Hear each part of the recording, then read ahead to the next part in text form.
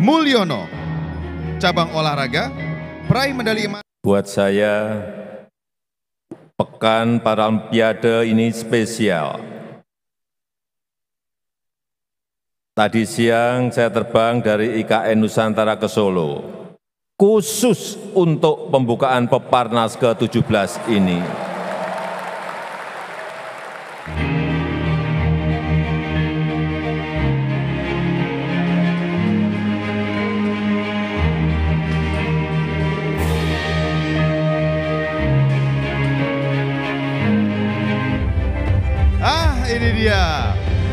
Maskot Kebo Kiai Slamet juga simbol dan harapan masyarakat kota Solo dalam mensukseskan Peparnas ke-17. Pengibaran bendera NPC Indonesia dan bendera Peparnas ke-17 Solo, Jawa Tengah tahun 2024 akan dibawa oleh 12 para juara. Bendera NPC Indonesia akan dibawakan oleh para juara Salahuddin Al-Ayubi, cabang olahraga para atletik, peraih medali perak ASEAN Para Games tahun 2003. Para juara Rifki Ahmad Soleh, cabang olahraga para atletik, peraih medali emas Peparnas tahun 2021.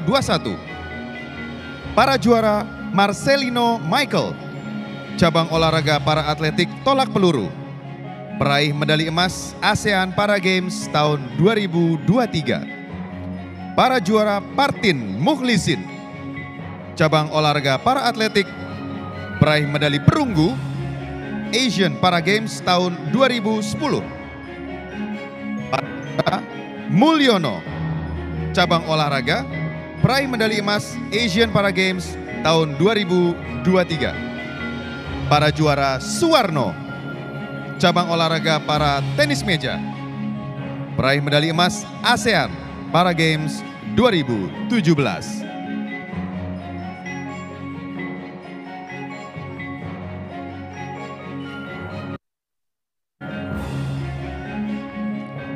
Bendera Peparnas akan dibawakan oleh para juara Rizal Bagu SS, cabang olahraga para atletik lempar lembing, peraih medali emas dan perak ASEAN Para Games tahun 2023. Para juara Vigo Saputra, cabang olahraga para atletik lompat jauh, peraih medali emas ASEAN Para Games tahun 2023. Para juara David Subiantoro, cabang olahraga lempar cakram, peraih medali emas Peparnas Papua tahun 2021. Para juara Bingah Tritih Timur, cabang olahraga lempar cakram, peraih medali emas ASEAN Para Games tahun 2023. Para juara Sudarno, cabang olahraga lower ball, peraih medali perunggu Asian Para Games tahun 2018 dan para juara Nurmala, cabang olahraga para sepak bola, peraih medali emas Kejurnas tahun 2012.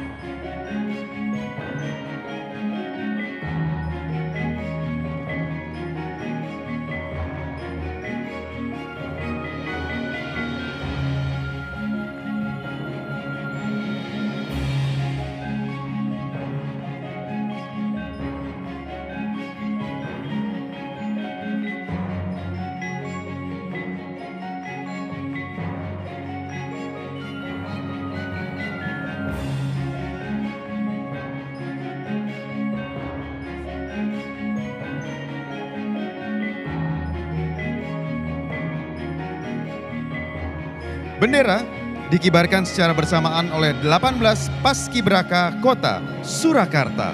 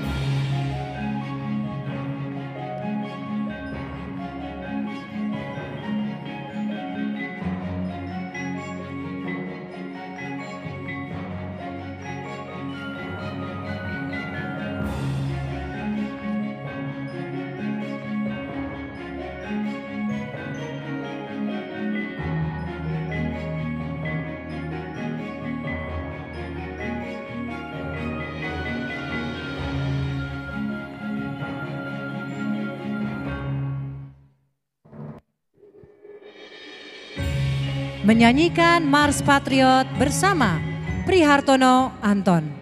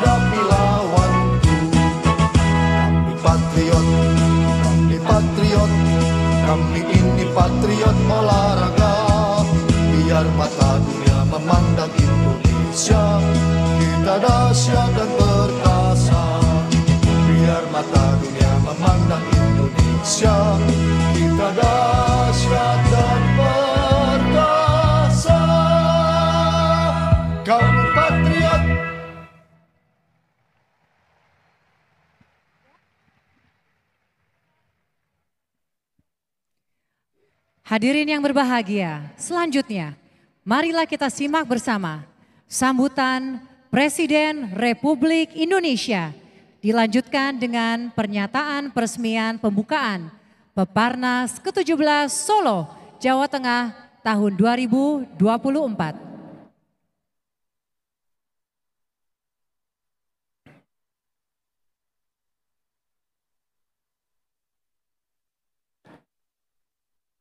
Bismillahirrahmanirrahim. Assalamualaikum warahmatullahi wabarakatuh. Selamat malam, salam sejahtera bagi kita semuanya. Shalom, Om Swastiastu, Namo Buddhaya, salam kebajikan. Yang saya hormati para Menko, para Menteri, Panglima TNI, Kapolri, beserta PJ, Gubernur Jawa Tengah, Wali Kota Surakarta, seluruh Forkopinda yang hadir, Ketua NPC Indonesia Bapak Seni Marbun, Sekretari Jenderal of ASEAN Para Sports Federation, Senior Kolonel Wandi Toswan, Ketua Umum PB Peparnas, Bapak DB Susanto, para atlet dan ofisial yang saya cintai, yang saya banggakan, Bapak Ibu seluruh masyarakat Jawa Tengah, khususnya masyarakat Solo yang saya cintai, hadirin tamu undangan yang berbahagia. Salam olahraga.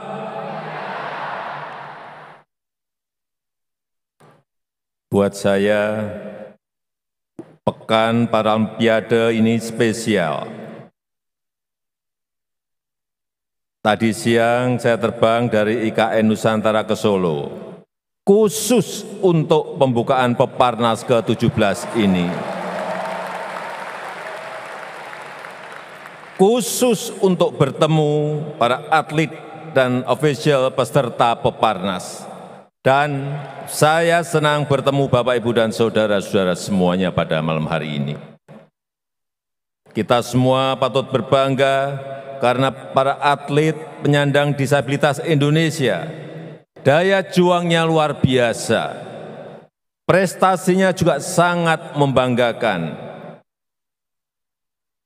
di ajang ASEAN Para Games misalnya, Indonesia meraih juara umum tiga kali berturut-turut. yaitu ASEAN Para Games 2017, 2022, dan 2023. Oleh sebab itu, mari kita sukseskan Pekan Paralimpiade Nasional ini yang tidak hanya sebagai ajang untuk melahirkan atlet-atlet potensial dan para pencetak rekor-rekor baru, tapi juga sebagai panggung kesetaraan bagi para seluruh atlet penyandang disabilitas untuk menampilkan kemampuan terbaiknya. Mari bertanding dalam suasana persaudaraan dan berjuang dengan semangat sportivitas. Saya juga ingin mengucapkan terima kasih untuk pemerintah Kota Surakarta, masyarakat Jawa Tengah atas dukungan penyelenggaraan Peparnas tahun 2024 ini. Dan dengan mengucap Bismillahirrahmanirrahim, Peparnas ke-17 saya nyatakan dibuka. Terima kasih. Wassalamualaikum warahmatullahi wabarakatuh.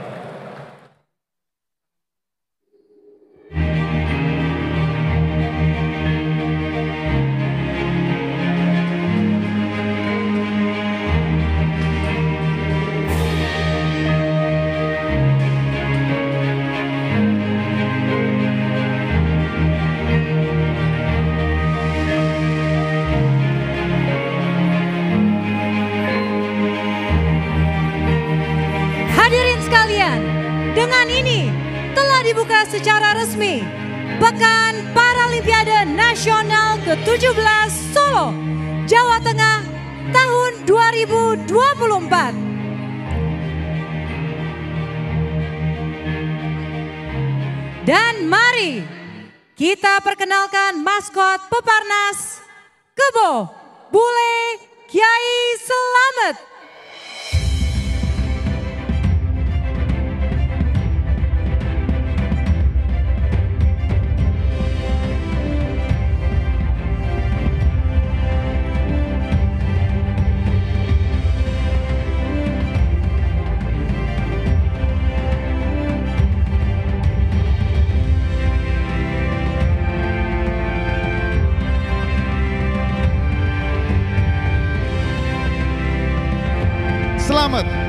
Berarti selamat. Memakai busana Ksatria Surakarta bermotif parang yang bermakna kekuatan dan pantang menyerah.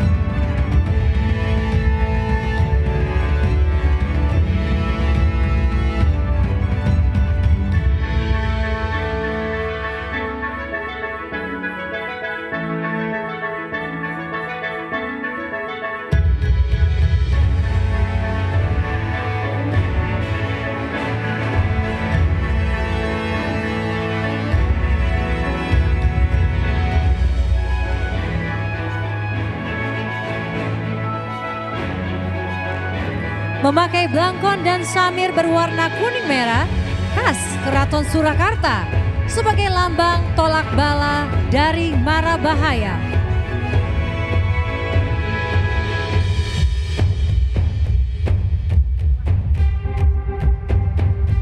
Wah, ke mana lagi maskot kita Nadia?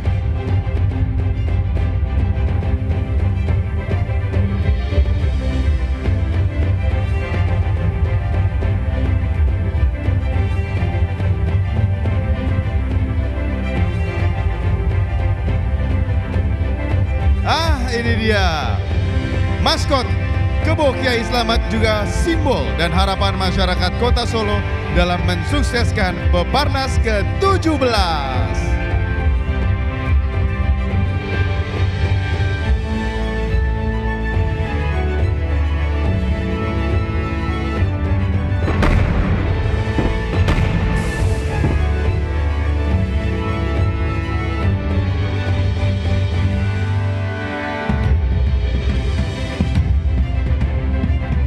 Semua telah berkenalan dengan maskot Peparnas ke-17 Kebobule Kiai Selamat.